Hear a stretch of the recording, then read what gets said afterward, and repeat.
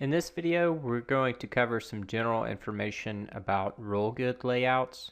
We'll show you how to edit those layouts to reduce waste.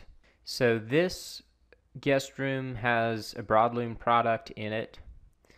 If we want to change the settings for that product, we'll go into the material editor. You can change the width, the seam overlap.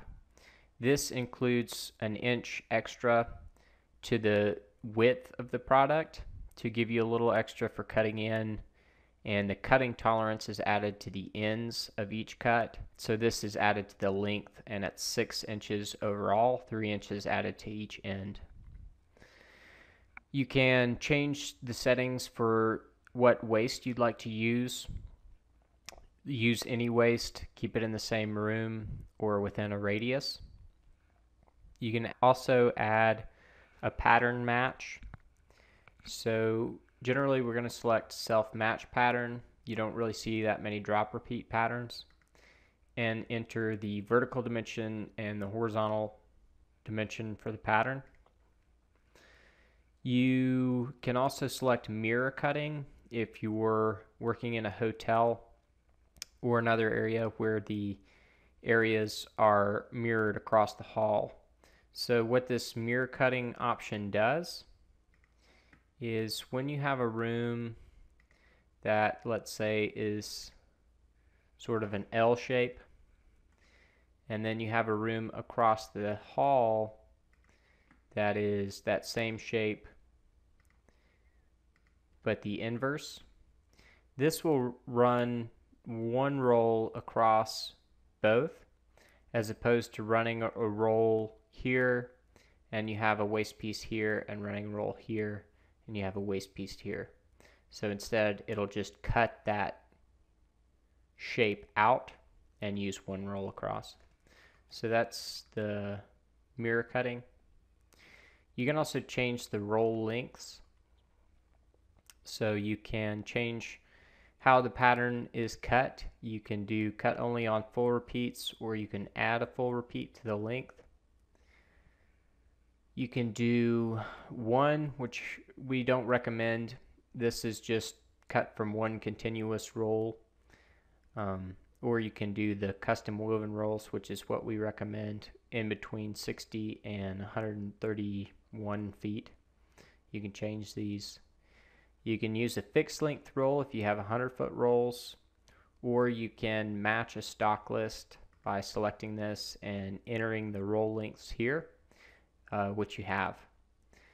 And it will let you know if you don't have enough material and you can change the layout to see if you can fit those rolls into the layout. You can change the cutting order. We recommend leaving it as sequential cuts. There's another one here that you might need the base skirt height for flash cove materials. So if you have a sheet vinyl or another material that is flash coved, you can enter the height of the flash coving in that box and it will calculate extra material for that. And you can also get corner counts with this button. You can turn on T-seams, which will save you some material uh, by checking that box. These are also known as cross joins. Uh, essentially what that does is cuts a roll in half to save on waste, eh, but you'll end up with a head seam in the middle of your layout. So looking at this in the room, I have my material in this room. I'm going to hit the quantify button. And I have all this information on each of my rolls. You can control the size of this information with the Control F11 key or Control F12. Control F11 makes it larger and Control F12 makes it smaller. So the information I'm seeing is first the cut number, next the room number, and then the cut length.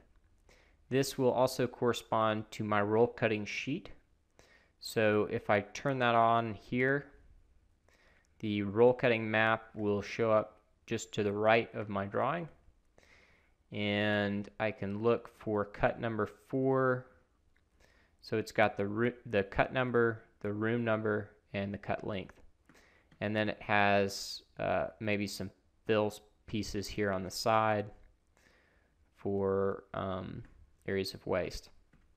The fill pieces will be a little different. They'll just have an F in front of the number and then the, the fill number.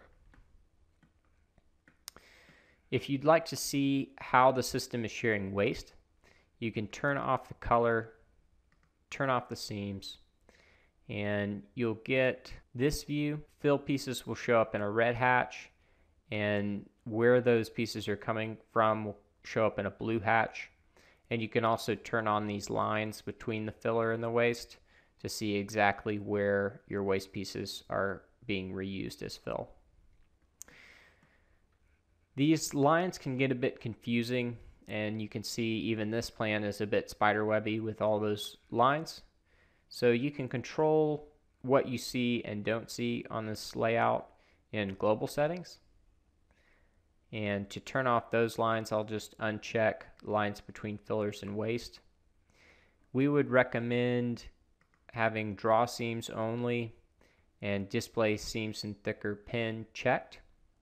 And then you'll also want section ID and length on cuts and room ID on roll cut. And that will allow you to see the room number and the cut number on the plan.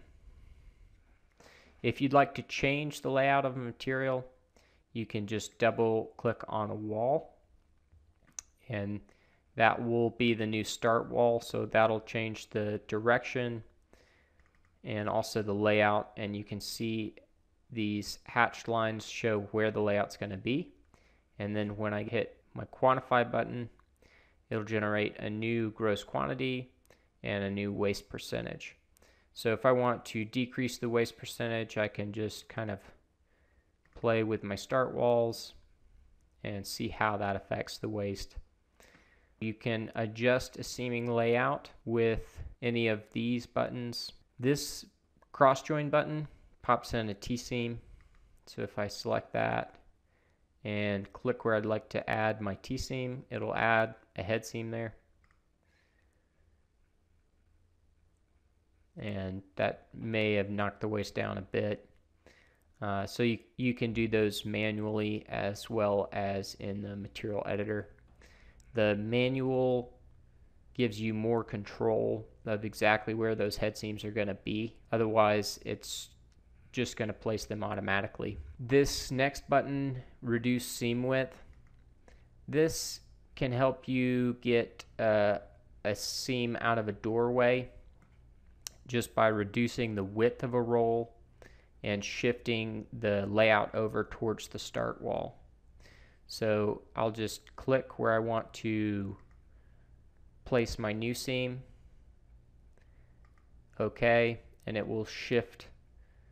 Uh, first of all, reduce the width of this roll and then shift the layout towards the start wall. So that one is reduce roll width. So those are the main tools you can use to adjust a roll layout. If you have any questions, please put them in the comments and thanks for watching.